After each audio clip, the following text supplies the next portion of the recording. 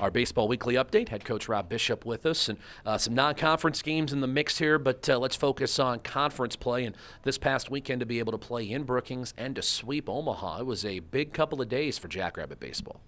Yeah, it really was. I mean, we uh, came out on Friday and played a good baseball game. Reese Arbogast was really good, gave us a, a good start, and uh, you know your your uh, focus is to win series. And after you win the first one, I I really felt like it, it just let us relax, and we played uh, we played really well all weekend.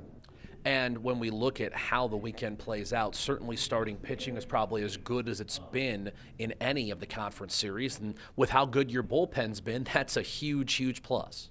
Yeah, I mean we uh, we're kind of the uh, we're kind of like the Minnesota Twins of uh, of uh, college baseball, right? I mean, if we get five or six, yeah. we're in a really good spot. And so Arbo gave us six, and Goebel gave us five, and really just let our bullpen pitch in the roles that we would like to have them in, and and we're pretty good when we're playing from ahead. Bullpen had 20 strikeouts over 12 and two thirds innings of work combined in the three games. Of course, the big headliner is Ryan McDonald, who earns the Summit League's Peak Performer of the Week. In the series against Omaha, he goes six out of 11, uh, eight runs driven in, a double, three homers, uh, homer in each game. That park is not the biggest, but I don't think it would have mattered for Ryan McDonald. Yeah, Ryan has big power, and uh, but he, he, the yeah. the thing about him is he's a really good hitter that happens to have a lot of power. He's not he doesn't strike out a lot. He, I mean he. He's on base when he, if teams pitch around him, he takes his walk and lets the rest of our offense do their job. And uh, I thought Reese Anderson did a good job. The bottom of order did a good job you know, putting Ryan in a spot where he was hitting and they had nowhere to they had nowhere to put him. They couldn't walk him um, and he, he did what he does. You brought up Anderson. I wanted to talk about him a little bit because here's a guy who's been a rock for you in center field defensively. He's stolen base threat for you. But offensively, he has just slowly progressed this year. His average has jumped over 40 points in the month of April, and he had a hit in every game this weekend.